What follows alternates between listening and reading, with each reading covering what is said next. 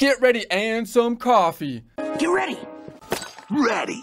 Because we're right on track. We're right on track. Who's the tiger? Which isn't good because I can see the train bearing down on us. Right on track. And I don't trust bears. Unless they're teddy bears. Because because teddy bears don't generally bear down on people like full-size bears and trains. Unless possibly the teddy bear was made in China. A teddy bear. A teddy bear made in China. Step away from So it's it's best to pick up the pace, get off track and on tempo.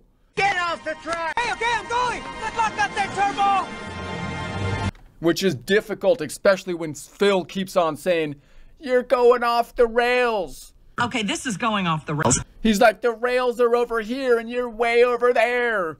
Totally off the rails. When things have gone off the rails. Okay. And it's like, whatever, Phil. You know, I don't care if I'm off the rails. I don't care. I, I, I don't care. Do you know why? Because I'm not a train. Because our show was going off the rails. Three, four, five, six, seven, eight, join. I'm not a train, Phil. Nine. Get there. Get there. I can go off the rails.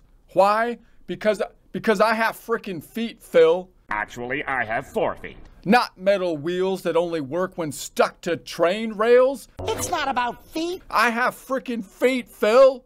Allowing me to go all over the place, rails or no rails.